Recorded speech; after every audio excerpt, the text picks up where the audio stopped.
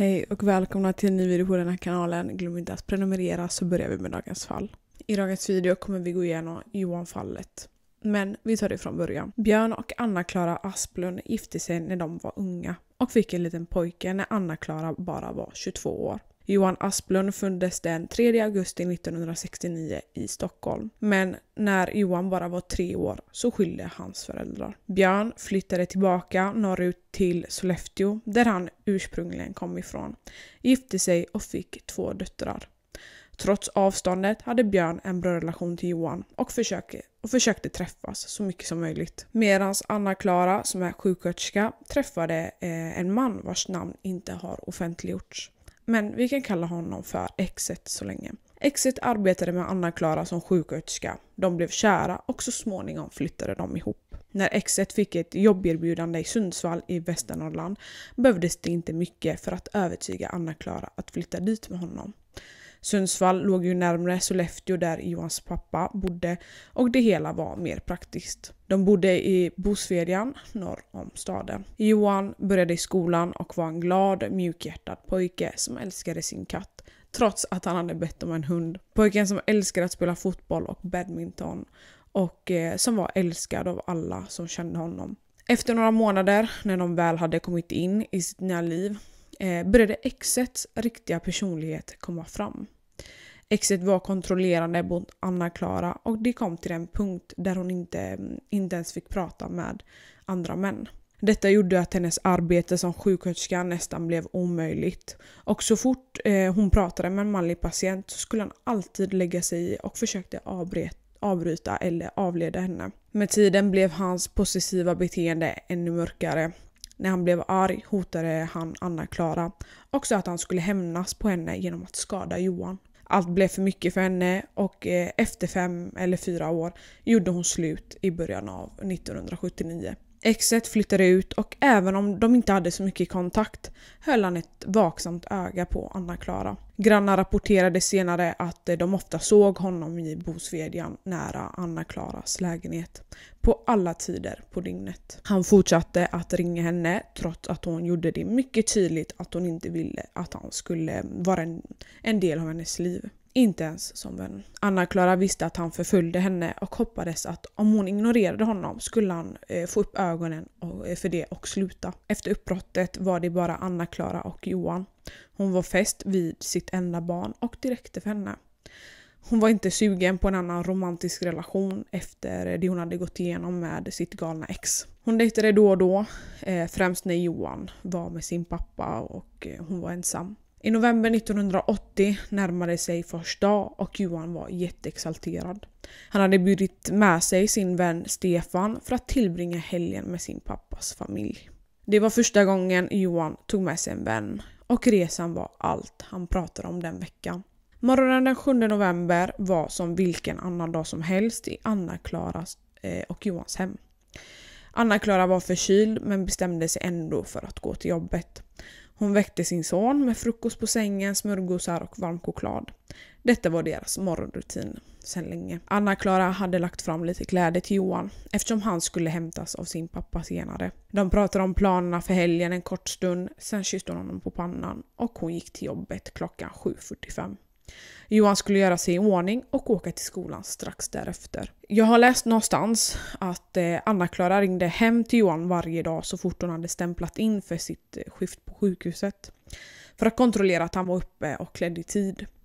Men just den här morgonen blev hon distraherad och eh, ringde aldrig. När Anna-Klara kom hem efter jobbet klockan halv ett hade Johan inte kommit tillbaka. Det var fortfarande tidigt så hon var inte så jätteorolig och antog att han fortfarande var i skolan. När hon kom till lägenheten såg eh, hon att Johan bara hade fått ett par bitar av sin frukost och att hans eh, kopp med varm choklad fortfarande var halvfull. Skjortan som hon hade tagit fram till honom att ta på sig låg fortfarande utlagt på hans säng och det såg ut som om han hade bråttom. Hans skor och skolväska var borta och förutom en våt handduk på golvet som hade ramlat ner från hans idrottsväska så var det inget som var konstigt. Johan var bara en pojke och eh, gillade inte att eh, ha skjortor.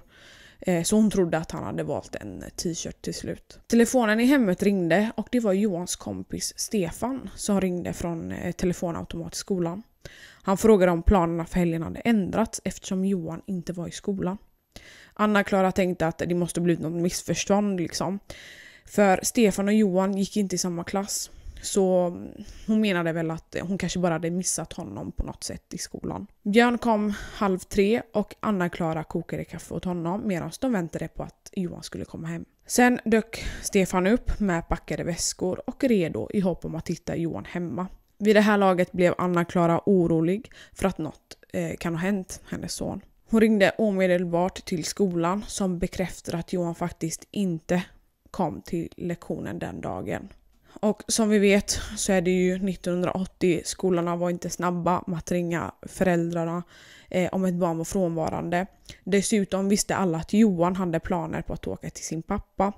För som vi vet, det var ju det enda han pratade om. Och alla antog att eh, han förmodligen hade åkt eh, tidigare än planerat. När Anna, Klara och Björn fick veta att Johan inte hade varit i skolan gick de den väg som Johan skulle ha gått till skolan. Men det fanns inga spår efter honom. De oroliga föräldrarna ringde Sundsvallspolisen klockan eh, halv fyra eller 24 för att anmäla Johan försvunnen. De kontaktade också en lokal radiostation för att sprida information om Johans försvinnande. Johan Asplund, 11 år, 150 cm långt, med medellångt ljusbrunt hår, försvann på väg till skolan. Han hade på sig jeans, en blå jacka, kängor och hade en röd skolväska med sig. Man organiserade en eh, skallgångskedja vid hans skola där flera lärare och klasskamrater med familj kom. Alla som kände Johan var överens om att han inte skulle ha lämnat skolan på egen vilja. Någon måste ha tagit honom. Anna, Klara och Johan älskade varandra väldigt mycket. Han var väldigt mammig och, ehm, och därför tror man inte att han skulle ha rymt hemifrån. Han var också ytterst medveten om främlingsfara och det fanns ingen chans att han skulle ha gått iväg med någon han inte kände.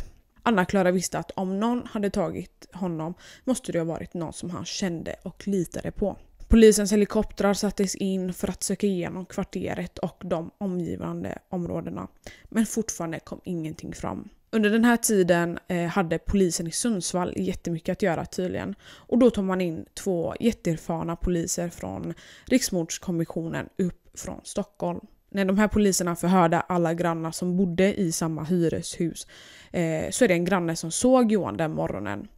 Grannen bodde ovanför dem och eh, på väg ner ser han att dörren var öppen och att Johan stod där eh, som om han väntade på någon. Grannen gick förbi 7.55, hälsade på honom och sa bara hej. Han berättade att Johan, som var klädd och redo för skolan, sa hej, men såg lite distraherad ut.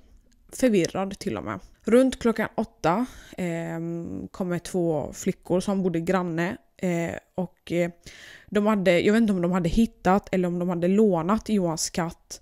Eh, men i alla fall, de skulle lämna tillbaka den. De knackade på eh, dörren men de fick inget svar. De ropade efter Johan men ingen öppnade dörren. En annan vän som brukade gå till skolan med Johan sa att han väntade utanför på honom på deras eh, vanliga mötesplats. Och när han inte dök upp eh, gick han vidare utan honom.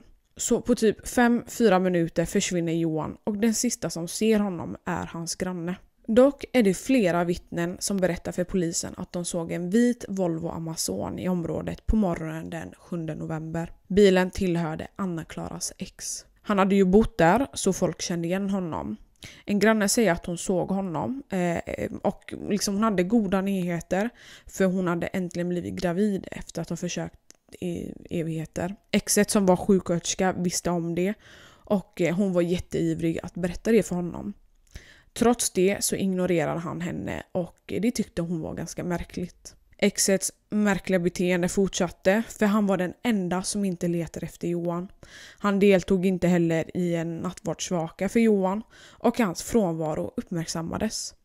Exet ska ha sagt till en vän att det inte var någon idé att leta efter Johan. Berodde detta på att han visste att han inte längre levde? Polisen förhörde exet i hans lägenhet några timmar efter att Johan eh, upptäcktes vara försvunnen.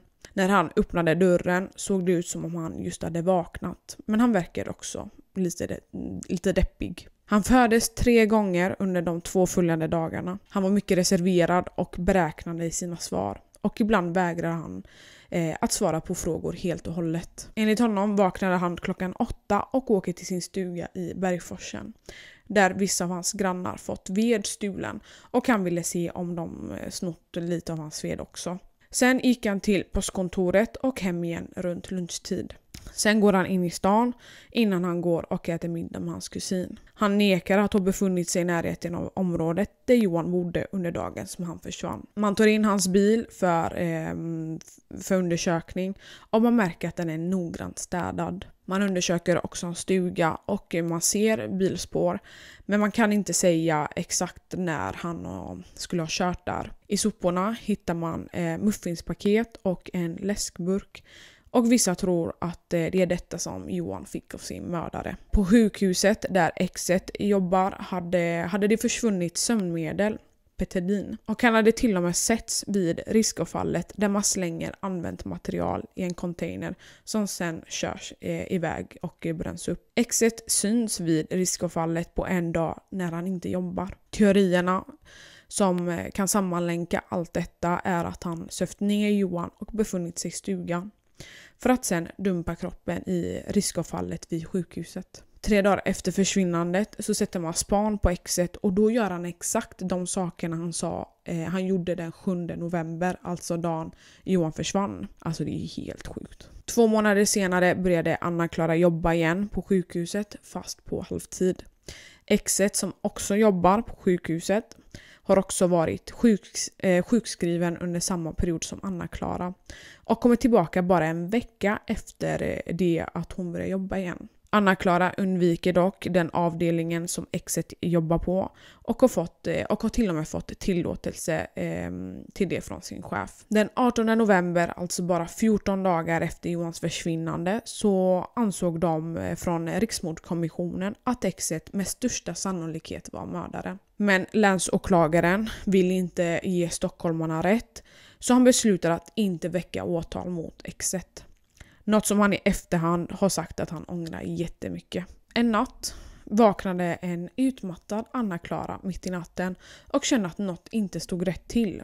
Hon tände ljuset och såg Johans leksakssoldater arrangerande på hennes nattduksbord med sina vapen riktade mot henne. Hon hoppade ur sängen och sökte igenom lägenheten, men ingen var där. När hon ringde polisen tyckte de inte att det var så allvarligt och försökte lugna ner henne. De visste att hon hade varit otroligt stressad och trodde att hon hade glömt att eh, hon själv placerat leksakssoldaterna där. Men Anna-Klara visste att någon hade varit i hennes lägenhet och dagen efter bytte hon låset på dörren. Under den här perioden fick hon också en massa samtal hem till sig utan att någon dock sa något. Och det sjukaste är för att under den här perioden kunde man inte spåra eh, samtal på det sätt vi gör idag. Men en av samtalen spårades till exets stuga. I Sverige kan man bedriva enskilt åtal, vilket i det här fallet innebar att Johans föräldrar kunde stämma exet personligen. Med hjälp av sin advokat Pelle Svensson kunde Björn och Anna-Klara få exet åtalad för kidnappningen av Johan. Om de skulle förlora måste de dock stå för alla rättegångskostnader. Så det här var ju verkligen en chansning. Varken Björn eller Anna-Klara var förmögna. Men för dem var det viktigare att kräva rättvisa för sin son än risken för att bli pank. Svensson spårade upp en präst som uppgav att exet hade erkänt mordet i ett telefonsamtal med honom. Men på grund av sekretessen mellan präst och församlingsmedlemmar kallades inte till vittnesmål i rätten. Exet kunde inte bli dömd för mord vid den här tiden eftersom ingen kropp hade hittats. Eh, istället står han åtalad för människorov. Åklagaren Pelle Svensson presenterar sin teori om vad som hade hänt. De tror att exet väntade på att Anna-Klara skulle gå till jobbet den morgonen och sen lockade Johan eh, att möta honom utanför genom att ringa på hemtelefonen.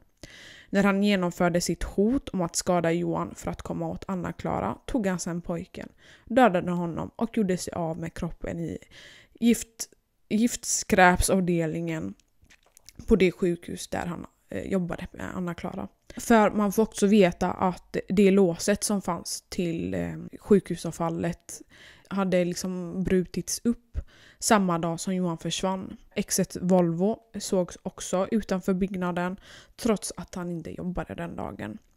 Han hade anmält sig också för att skriva ett prov på sjukhuset men dök aldrig upp. År 1985 beslutade den eh, skiljaktiga eh, tingsrätten att exet faktiskt hade tagit Johan den morgonen, men inte med avsikt att döda honom. Han dömdes till två års fängelse för olaga frihetsberövande, som är den strängaste dom som någonsin utdömts eh, vid ett enskilt åtal i Sverige. Svensson var inte nöjd och överklagade denna dom och ville istället att exet skulle också dömas för mordet på Johan. Björn och Anna-Klara var nöjda med, dem, med det de redan hade åstadkommit och skulle de förlora eh, den här nya rättegången så skulle den förra domen upphöra. Och det var tyvärr det som hände.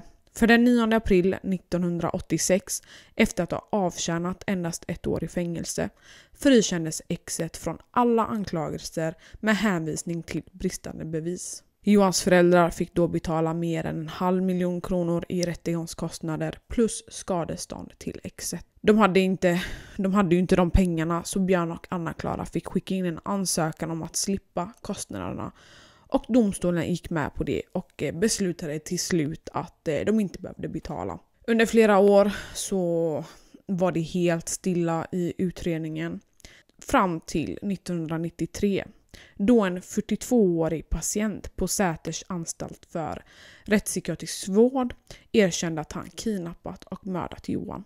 Sture Bergvall sattes in på Säter 1991 efter, att, efter ett hemfridsbrott där han höll en bank, bankdirektörs fru och son som gisslan. Under sin tid på anstalten hade han bytt namn från Sture Bergvall till Thomas Quick. Det var två år in i sin terapi som han började erkänna att han förgrep sig sexuellt på män, kvinnor och barn i hela Skandinavien. Han dödade, styckade och åt till och med eh, köttet av några av sina offer. Quick hade många versioner av vad som hände den eh, novemberdagen 1980 men i princip gick det ut på följande.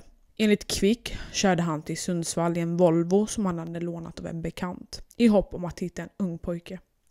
Han fick syn på en mörkhårig eh, pojke men kunde inte komma åt honom. Det var då Johan som hade oturen att gå förbi. Quick eh, berättade att han hade en katt i sin bil och att han behövde hjälp.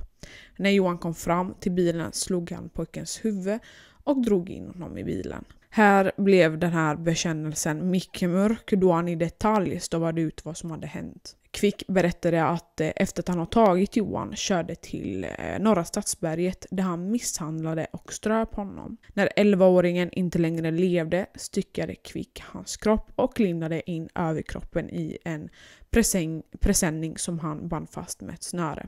Quicks minne om hur han gjorde sig av med Johans kropp var dock lite suddigt.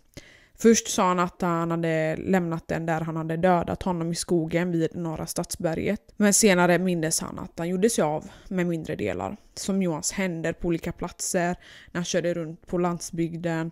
Eh, vid ett tillfälle hävdade Quick att han hade förvarat Johans ben i hans vind. Eh, han sa också att han åt upp vissa kroppsdelar. När Quick gick med på att visa polisen var han hade gjort sig av med Eh, Johans eh, kvarlevor meddela, meddelade åklagaren Christer van der Kvast entusiastiskt på en presskonferens att han förväntade sig att fallet skulle vara avslutat inom en vecka. En grupp poliser körde till Sundsvall, gardade av Thomas Quick i hopp om att hitta Johans Asplunds kvarlevor. På vägen drabbades Quick av en, av en rad ångestattacker och berättade för polisen att han fruktade vad som väntade. Vid denna tidpunkt trodde läkarna att Quick återupplevde brottet vilket orsakade den ökade ångesten till den grad att han hyperventilerade. Rädsla, jag måste nå allra längst in till rädslan. Eh, eh, och det är viktigt för mig att, att, att med handen få tag och känna den här rädslan. Det innebär att eh... Det är viktigt att eh, nämna att Quick eh, alltid var mycket vag när han beskrev eh, Johans kläder och vilken färg skolväskan hade. En annan omtvistad eh, fråga var den om den blåa Volvon som Quick påstod sig ha lånat. Den började som mellanblå men sen ändrade han sig och uppgav att den var ljusblå. Utredarna påpekade att den man som han påstod hade lånat eh, honom bilen aldrig ägde en blå Volvo. Fem år och många förhör senare stämde Quicks berättelse till slut överens med eh, fakta och han hävdade att bilen faktiskt var röd. Bilens ägare, som Quick namngav, förnekade att han någonsin lånat ut sin bil till honom.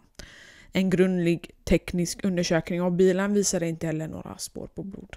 Om Quick någonsin hade transporterat färska, avhuggna lemmar i bilen skulle det ha funnits något i alla fall. Men denna bil var fläckfri och visade inga tecken på blod. Hur Quick kom att befinna sig i Sundsvall den dagen utan körkort eller att kunna köra bil ansågs senare irrelevant av domstolen. Det är ju helt sjukt egentligen. Hans syster Eva berättade för polisen att eh, hon inte heller trodde att han hade dödat Johan. Mest för att han påstod sig ha lånat en bil och kört dit.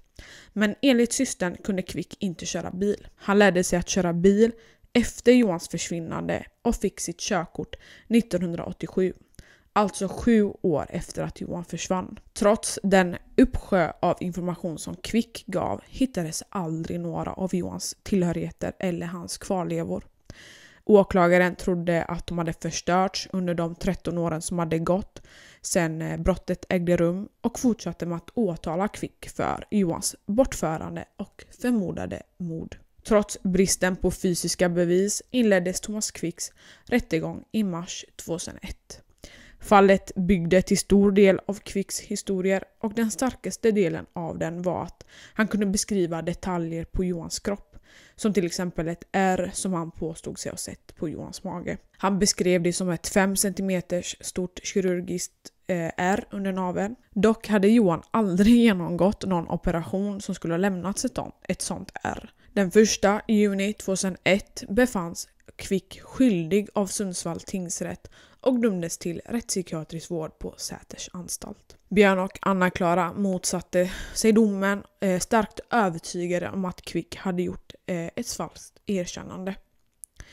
Björn och Anna-Klara insisterade på att polisen och åklagaren gav Quick ledtrådar. Till exempel eh, hade de aldrig berättat för polisen om ett födelsemärke som Johan hade på baksidan. Anna-Klara hävdade att hon kände sig pressad av åklagaren Vander Kvast att ge detaljer om just det här födelsemärket. Hon säger att hon tvingades att rita en bild av det och att eh, Vander Kvast tog med sig skissen. Ett par dagar efter att eh, ha avslöjat denna information nämnde Quick födelsemärket i ett av sina erkännanden. Så det fanns mycket konstiga grejer som på, eh, pågick där bakom alltså. Vid rättegången såg domaren inga problem med, be med bevisningen och ignorerade Anna-Klaras och Björns protester och slog fast eh, att Quicks vittnesmål stämde överens med den skiss, eh, med den skiss som Anna-Klara hade lämnat in. Han ansåg, eh, han ansåg inte att det var på grund av, av denna skiss som Quick eh, visste vad han skulle säga. År 2006 efter att eh, Anna-Klara och Björn har vänt sig till de flesta svenska institutioner för hjälp får de kontakt med justitiekanslern Göran Lamberts. Föräldrarna fick i uppdrag att skicka in en rapport om utredningen och den var väldigt stor. Uppemot, eh, alltså jag tror att det var över 20 000 sidor med videor och bilder. Men efter bara en vecka får de som svar att inget i domarna och utredningen var felaktig. År 2008 hade Thomas Quick eh, bytt tillbaka till sitt födelsenamn, Sture Bergvall. Han tog också tillbaka sitt erkännande om Johans kidnapping och mord. Han frikändes då från alla åtalspunkter som rörde eh, bortförandet av Johan, liksom från alla andra fall som han felaktigt hade erkänt. Det var åtta morderkännanden som han hade stått inför rätta för och befunnits skyldig till. Sammanlagt gällde hans bekännelser mer än 30 offer. Tre år innan eh, att Bergvall tog tillbaka sitt erkännande 2005 25 år efter att Johan försvann gick preskriptionstiden ut för hans fall. Vilket innebär att eh, ingen kan bli dömd för brottet längre. Om Thomas Quick inte hade erkänt mordet, eh, erkänt säger vi, så hade polisen kunnat fortsätta utredningen men istället väljer man eh, på den tiden att tro på varenda ord han säger och därför lades all fokus på Thomas. 2014 kom en man till polisen som hävdade att han eh, spelat in en man som erkände mordet på Johan med sin mobil. I videon berättar personen en historia som är väldigt lik åklagarens teori om att Johan kidnappats, tagits eh, till en stuga, fått läsk och muffins och sen gjort sig av med kroppen och bränt upp Johans tillhörigheter på sjukhuset. Detta visade sig vara ytterligare en eh, falsk bekännelse och personen har eh, sedan dess åtalats för förtal. Den man som påstod sig ha filmat eh, videon erkände att han hade kommit på hela berättelsen. En teknisk undersökning av mannens alla alltså apparater, gav också inga resultat. Så det fanns inga bevis för den nämnda videon. Så det fanns ingen video egentligen. Han sa att han hittade på allt för att reda ut mysteriet kring Johans försvinnande. Efter det här så har eh, Anna-Klara och eh, Björn sökt skadestånd för dålig hantering av fallet men fått avslag. I en intervju säger Anna-Klara att eh, hon tror att regeringen är rädd för att betala ut sådana skadestånd och att fler som påverkats av liknande också skulle eh, söka skadestånd. År 2018, nästan 40 år efter att Johan försvunnit, beslutade Johans föräldrar att juridiskt förklara honom död. Trots att eh, de visste att den person som var skyldig till mordet på deras son aldrig skulle åtalas gav Anna-Klara och Björn aldrig upp i arbetet med att hålla eh, Johans historia vid liv. De kände fortfarande att det var exet, men de ville att han skulle erkänna och berätta vad som hände den morgonen. De vill bara veta vad som hände med Johans kropp, så att de äntligen kunde lägga honom till vila. Så sent som i mars 2022 förhördes exet igen. Efter att polisen fått eh, ett anonymt mm, sån här fax typ. Ehm, där han utpekades som den person som kidnappat och mördat Johan. Enligt den här faxmeddelandet hade exet erkänt brottet inför släktingar. Under det nya förhöret talade han mer öppet. Han förklarade sitt eh, märkliga beteende under dagarna efter Johans försvinnande med att han höll sig borta på avstånd från de första sökningarna och utredningen av respekt för Anna-Klara. Han ville inte göra henne upprörd och orsaka en scen. Ironiskt nog bad Anna-Klara, som desperat vill hitta sin son, om hans hjälp och bad honom uttryckligen att hjälpa till att leta efter Johan. Ändå förnekar exet bestämt att eh, han inte har tagit Johan. Polisen håller dock Johans akt öppen som ett fall av försvunnen person. Om någon skulle erkänna brottet får de inga rättsliga konsekvenser. Men att veta vad som hände Johan skulle ge Johans föräldrar det avslut som de desperat behöver. Men det var allt för idag. Glöm inte att prenumerera så ses vi nästa.